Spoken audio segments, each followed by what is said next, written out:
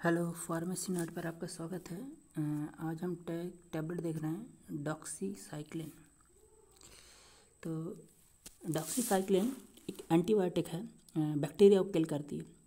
अगर आपको गोनोरिया हो या urinary tract kidney disorder, urinary tract में इन्फेक्शन हो, सिफिलिस हो,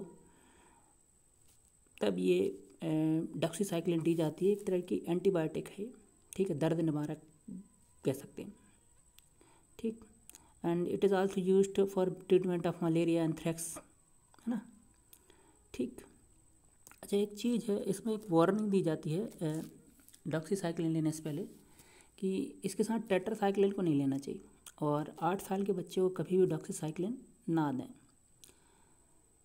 क्यों? ऐसा क्यों भाई? आठ साल के बच्चे में क्या है? क्योंकि अगर आठ साल के बच्चे को आप देंगे तो उसमें रेसिस स्किन डिसऑर्डर उसमें स्किन में प्रॉब्लम, उनके टीथ जो हैं पीले पड़ जाएँगे ज़िंदगी भर के लिए पीले पड़ जाएँगे। परमानेंटली जो टीथ होते हैं, वो पीले हो जाते हैं। येलो प्रेगनेंसी वूमेन को यदि डॉक्सीसाइक्लिन दी जा रही तो बेबी में ब्रेस्ट फीडिंग ना कराएँ, नहीं तो प्रॉब्लम क्रिएट हो सकती है। और अपने डॉक्टर को बताएँ, अगर आप डॉक्सीसाइक्लिन ले रहे हैं तो यदि आपको लिवर डिसीज़ है, या किडनी डिसीज़ है, या अस्थमा है तो ये सब बता दें डॉक्टर को कि ये है आप डॉक्सीसाइक्लिन ना दें। ठीक? और इंजेक्शन के फॉर्म में भी ले सकते हैं इसको। डॉक्टर डॉक्टर बहुत प्रेफर करते हैं डॉक्सीसाइक्लिन को। मलेरिया हो गया और ये आपका कोरोना हुआ था, तब भी डॉक्सीसाइक्लिन बहुत प्रेफर की गई थी। चलिए आगे देखते हुए। अगर डॉक्सीसाइक्लिन का डोज आपने मिस कर दिया है तो उसे मिस कर दीजिए। अगली शेड्यूल पर चले जाइए डोज चारे दीजिए। इससे ज़्यादा कुछ फ़र्क पड़ेगा नहीं।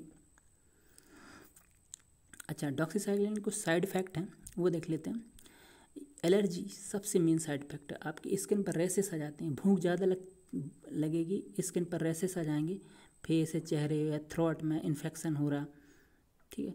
स्किन पर ये काफ़ी रिएक्शन करती है। ब्लिस्टर पड़ जाते हैं रेसेस जाते हैं, स्किन लाल हो जाती है, दाग पड़ जाते हैं। तो ये इसके क्या होते हैं? साइड इफ़ेक्ट होते हैं। ठीक। और कुछ थोड़े बहुत सिम्टम भी आते हैं स्टमक में पेन डायरिया हो रहा है थ्रोट में इन्फेक्शन हो रही है चेस्ट पेन हो रहा है समथिंग नोसिया हो गया वोमिटिंग हो गई, या कुछ डायरिया स्किन में रेसेस होते तो इचिंग होती है, ये सब इसके साइड इफ़ेक्ट हैं। ठीक थैंक यू सुनने के लिए।